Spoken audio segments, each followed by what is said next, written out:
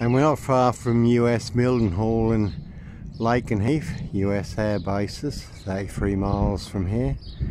Certainly would be Russian nuclear targets. So there's been plenty of activity of late. Military jets are up roaring around today. One big storm coming on the horizon. And experts do tell us we have entered the perfect storm. Four storms converging financial, natural, solar, conflict, and war. There's also the four horsemen of the apocalypse, seven seals of judgment because of the evil hearts of men.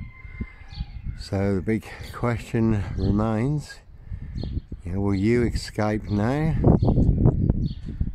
Will you out alive? 90 seconds to midnight. And the Lord Jesus Christ is the key and the door to our freedom now, also our eternal freedom.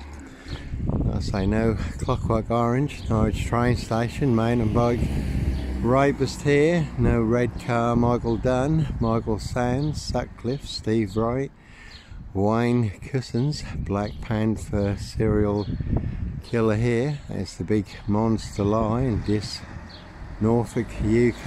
Again, they want everyone to believe are true. So you can see East Coast Truckers, MRCT, Bartram's, Anglia Freight, Trans Am, Burston Mill, Disc and Road Assassins, Roy Humphreys, Richard Long, Oyster Escort, Wide Loads for, plenty of host, drive monster 18 wheeler 666 dual trucks, all full of monster lies and bogus diagnosis, death threats.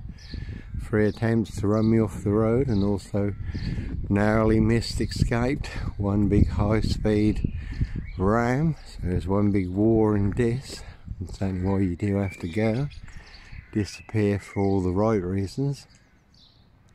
So before you do get boxed up, disappeared for seven wrong reasons. And if you don't believe me, you can ask them. Call out that big monster bluff.